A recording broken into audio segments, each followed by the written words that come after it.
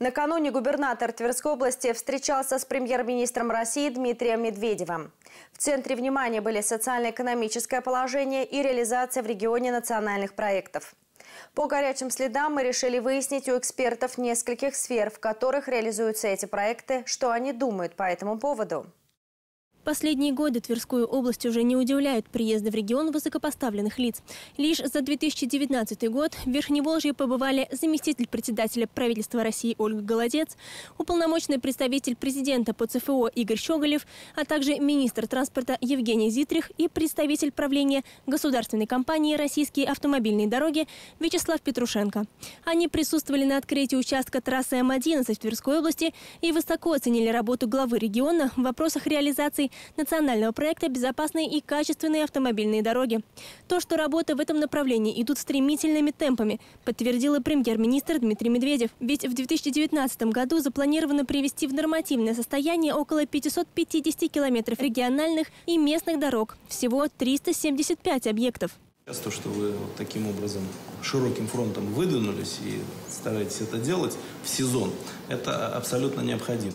Такого масштаба работ в регионе не было уже многие годы. Это подтвердила председатель постоянного комитета по транспорту законодательного собрания Тверской области. Станислав Петрушенко рассказал, что у нас в области максимальное рвение в этом вопросе.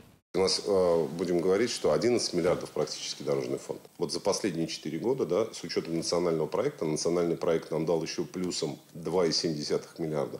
Это выделено у нас на текущий год. И будем так говорить, что эта сумма будет возрастать вот, в следующем году будет приблизительно около 3 миллиардов, а, а будем говорить, в 2021 это будет порядка 4 миллиардов рублей.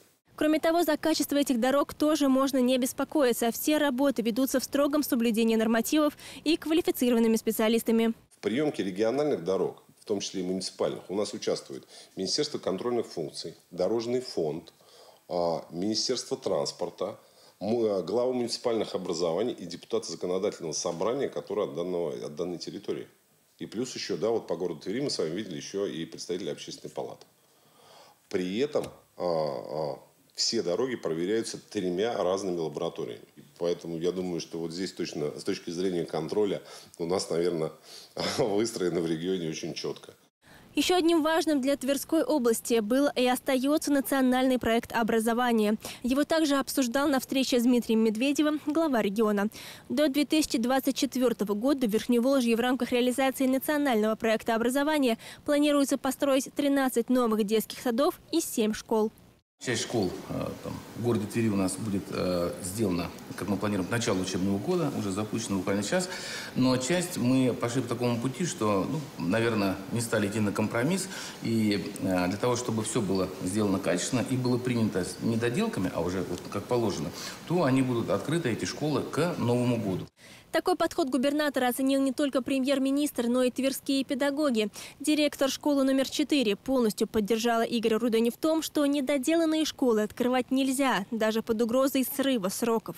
Я абсолютно согласна с тем, что надо сдавать под ключ 100%. Мало того, это должно быть полностью безопасные учреждения. Что значит готова школа? Это значит, все системы работают. И отопительная, да, что подключена к электроэнергии, что устроена школьная территория, которая является безопасной, что есть стадион, что закуплены учебники, парты, техника, все подключено. Лучше задержать на месяц, на два, даже на полгода – но, тем не менее, э, детям, детей привести уже в школу, которая полностью готова и отвечает всем новым требованиям. По ее словам, открытие новых учреждений сейчас в регионе необходимо, ведь школы и детские сады дадут возможность получить дошкольное и начальное образование для более трех тысяч детей. В школах новых необходимость крайняя, потому что на самом деле школы уже перегружены, особенно такие школы, которые находятся в микрорайоне Южном, потому что отстраивается полностью новый микрорайон Брусилова, э, Радужный. Все новые микрорайоны, э, школы забиты. Именно с этой проблемой переполненности и борется действующая власть. Игорь Удени неоднократно говорил о важности ликвидации второй смены и создании комфортных условий для обучения детей.